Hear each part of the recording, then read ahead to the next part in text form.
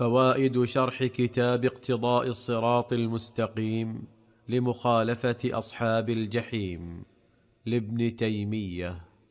قال وأما القسم الثاني من العموم فهو عموم الجميع لأفراده كما يعم قوله تعالى فاقتلوا المشركين كل مشرك. نعم هذا النوع هذا النوع هذا القسم الثاني وهو النوع وهو ما يشمل أفرادا.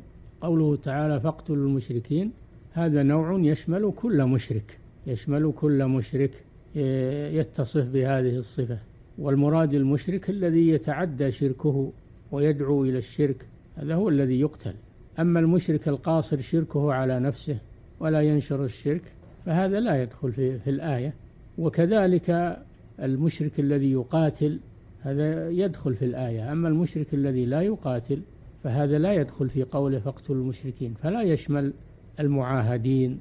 والذميين والمستأمنين وإن كانوا مشركين لكنهم بحكم العهد والأمان والذمة لا يقاتلون فلا يجوز لنا أن نقتلهم لأن هذا من خيانة العهد.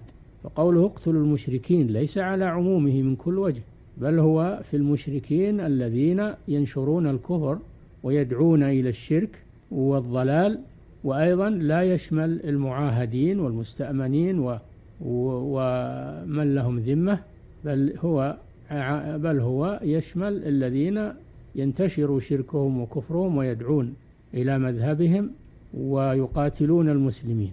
ولذلك لا تقتل المرأة لأنها لا تقاتل إلا إذا كان لها رأي في الحرب ولها تخطيط ولا يقتل الشيخ الكبير إلا إذا كان له رأي وتخطيط في الحرب. ولذلك قتل الصحابة دريد بن الصمة في وقعة حنين مع أنه كبير السن لكنه كان يدبر ويخطط للمشركين في في في غزوة حنين. وكذلك لا يقتل الصبيان لأنهم ليس لهم ليسوا من المقاتلين وكفرهم قاصر عليهم.